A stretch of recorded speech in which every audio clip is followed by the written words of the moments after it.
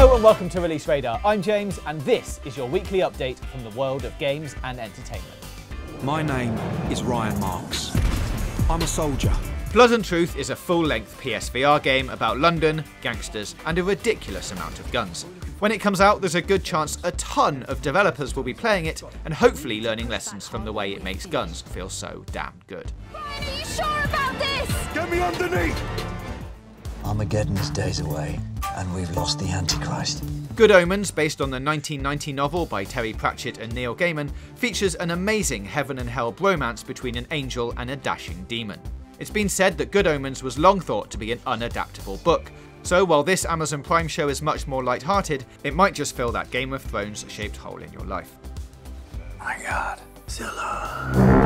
Godzilla King of the Monsters is the sequel to Godzilla, and it occupies the same cinematic universe as Kong Skull Island. But you don't need to have seen either to appreciate it. All you need to know is that Godzilla and a bunch of other massive monsters are ready for a giant scrap on Earth.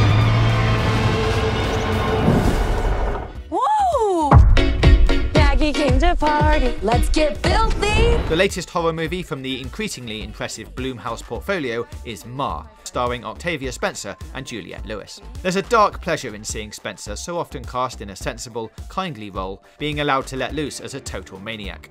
Here's hoping for a sequel called Grandma.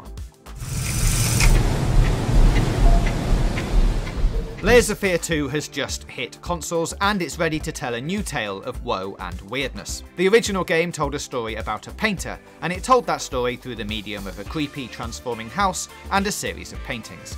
This sequel, though, will use the history of cinema as a means of storytelling. So that's what's on our radar this week. Let us know what you're doing in the comments below, and don't forget to check back next week for yet another update.